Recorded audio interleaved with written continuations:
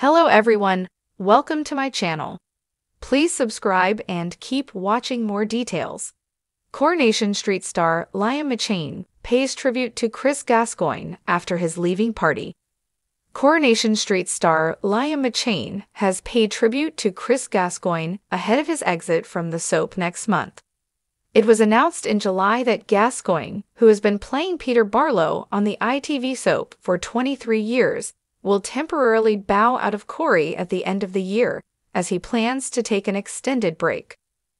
McCheyne, who plays Dylan Wilson, paid tribute to his co-star via Instagram yesterday, November 2, by posting sweet a photo of himself and Cait Fitton, Lauren Bolton, with Gascoyne at his leaving party.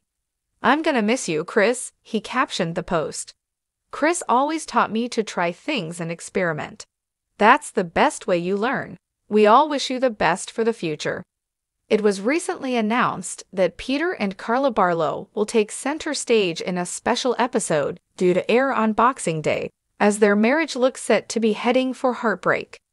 It's building towards an exit for Peter, which is really brilliant and bittersweet and feels like Corrie at its very best, producer Iain MacLeod told Digital Spy and other press.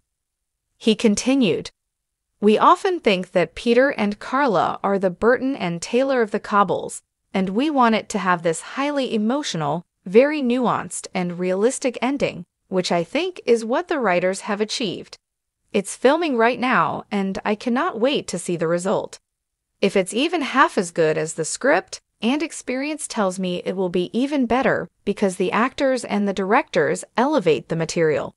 It's going to be a really stunning episode for us because they are brilliant in love characters and brilliant actors.